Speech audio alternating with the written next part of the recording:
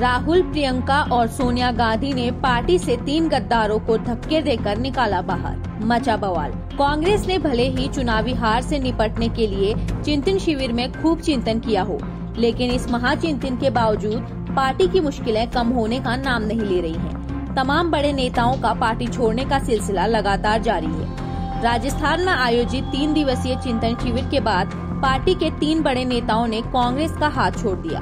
जिसे पार्टी के लिए एक के बाद एक बड़े झटकों की तरह देखा जा रहा है।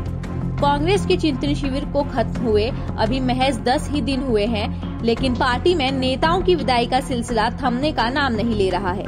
पंजाब के बड़े नेता सुनील जाखड़ ने कांग्रेस चिंतन शिविर के बीच ही अपना इस्तीफा दे दिया था। जाखड़ लंबे समय से पार्टी आला कमान से नाराज़ चल रहे थे, जिसके बाद उन्होंने 50 साल का नाता तोड़कर बीजेपी का दामन थाम लिया। सुनील जाखड़ के बाद कांग्रेस को दूसरा बड़ा झटका गुजरात में लगा, जहाँ पाटीदार नेता और प्रदेश अध्यक्ष हार्दिक पटेल ने इस्तीफे का ऐलान कर दिया।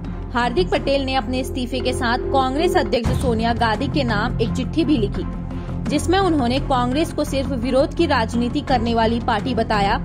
वहीं आर्टिकल 370 राम मंदिर और सी एएनआरसी जैसे मुद्दों का ज़िक्र कर बीजेपी सरकार की तारीफ़ भी की।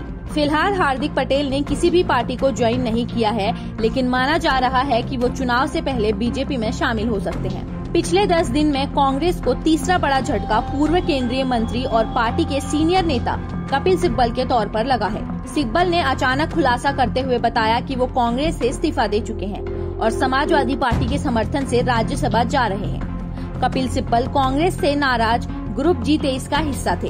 वो पार्टी की लीडरशिप को लेकर लगातार सवाल उठा रहे थे, जिसके बाद उन्होंने पार्टी छोड़ने का फैसला किया है।